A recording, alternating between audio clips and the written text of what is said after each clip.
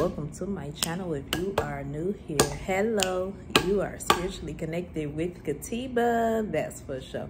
I don't know my thumping ain't been right. This table ain't right. The table ain't right y'all but look. Some people are uncomfortable when it comes to your evolution.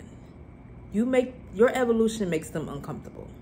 Like you got some people out here really taking your life decisions personal. Like it got anything to do with them. Like it affects them in any way. And even if it does like it's them that has to do it. Like it's their experience. It's your journey. You make some people uncomfortable. Your evolution makes some people uncomfortable. You got some people out here saying that you changed like you were supposed to stay a butterfly forever. It really makes some people uncomfortable I'm gonna tell you why though. Let me tell you why. It makes some people uncomfortable because they're stagnant. They're stagnant within them with, within their lives. So when they see you out here moving and jigging, when they see you out here making moves, it makes them uncomfortable because it's a mirror. It's a mirror for them, showing them the possibilities of what they can be doing. That they can do what it is that they want to do too, but it shows them that their uh, their fears it exposes their darkness it exposes their demons it exposes their shadow self and it makes them very uncomfortable. Some people don't even want to call you no more.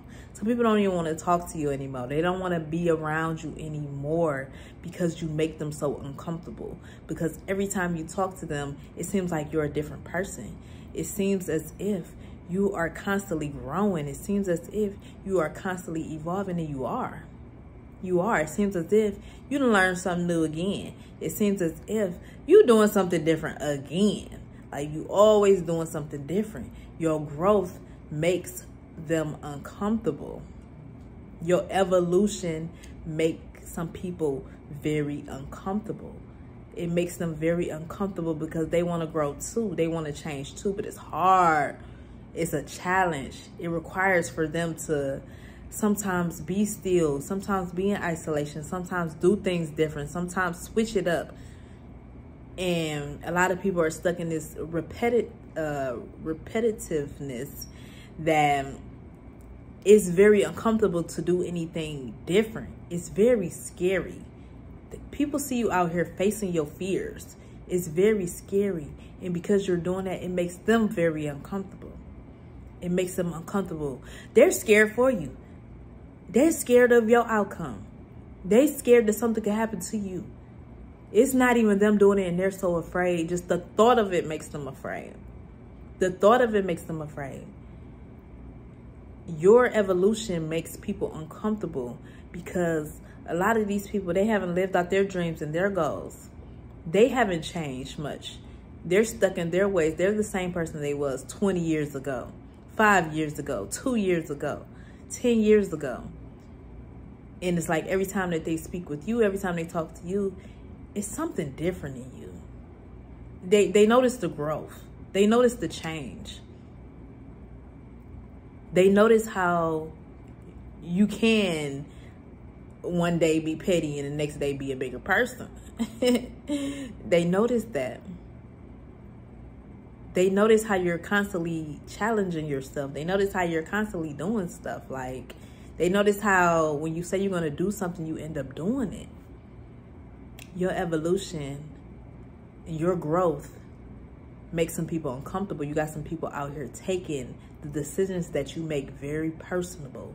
They're taking it personal not knowing that you're doing what's best for you as everyone should. Because if you don't have anything for yourself then you don't have anything for the outside world. But majority of the world are doing the opposite way. And this is why it's a lot of stress and depression on this world.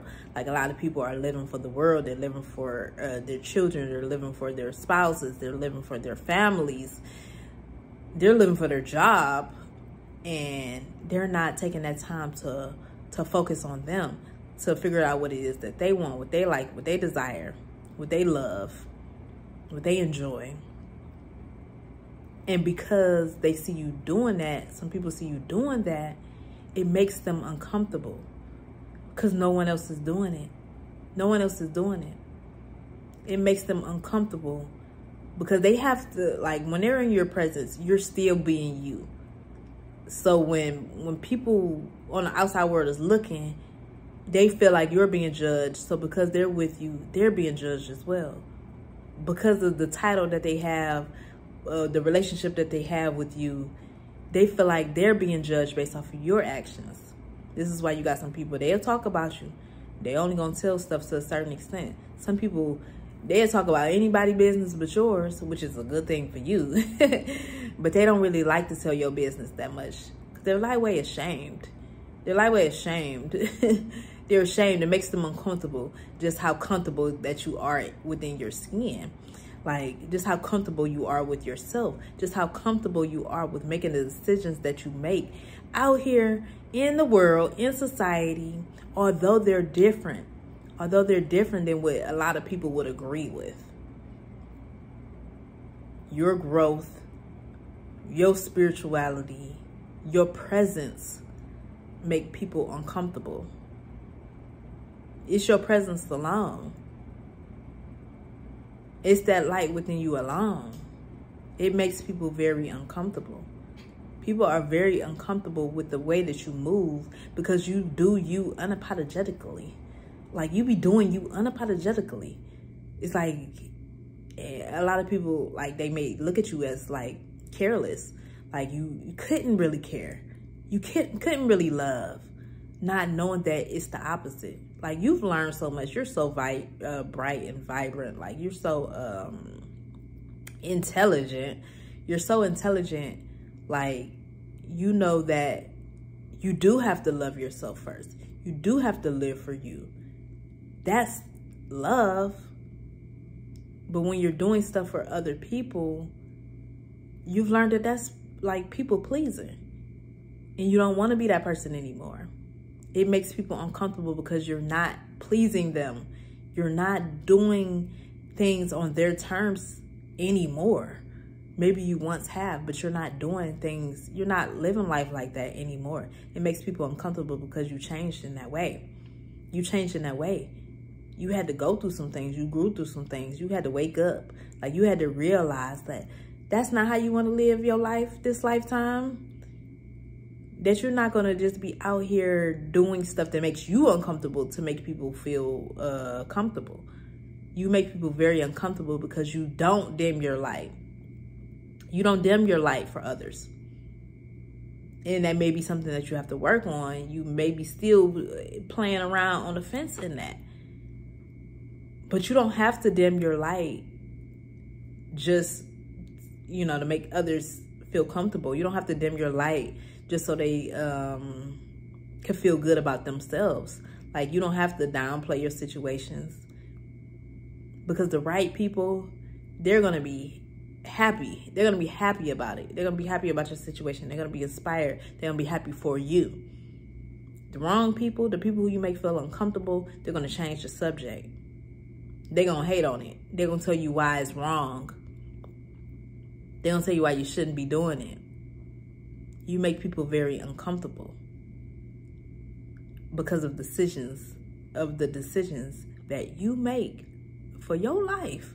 Your life yourself. You doing it for you. You make people uncomfortable. It's the thought of it. It's the thought of even telling someone else. It makes it's uncomfortable. So they really bring you up they really bring you up in that way because the type of stuff that they're gonna say when they say what what has he what have he been up to, what have she been up to, it's uncomfortable. Oh, they still in that relationship? Oh, it's uncomfortable. Cause a lot of people they look at you as perfect. That's not the way that you feel about yourself. You know you're human. You know you're human. You know who you are. You know what you be doing. You know the type of mistakes that you make and the type of lessons that you have to learn. But when people see you, it makes them very uncomfortable. They're looking at you as God, as you are. but they're looking at you as something that they aren't, not knowing that we are all one. That they uh, withhold the embodiment of God within them as well. But people, people see you as superior. they see you as superior, so it really makes them uncomfortable. It makes them uncomfortable. We're not talking about the ones who's who's uh, inspired. We're talking about the ones who are uncomfortable because of who you are, because of who you chose to be. Because a lot of people they don't choose who they want to be. They let society choose who um, who they should be and how they should act and how they should move and who they should talk to and how they're supposed to um, respond within their relationships and respond to the world and move within the world. And you're total opposite of that. You're total opposite of that.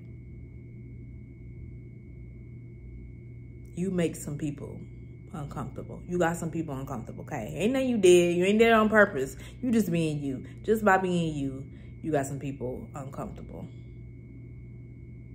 So if this video resonate, if it hit different, let me know how so. If you are new here, I do invite you to hit the subscribe button. That is all I have for this video. Stay spiritually you, stay spiritually attuned, and I will see y'all on the next one. Peace.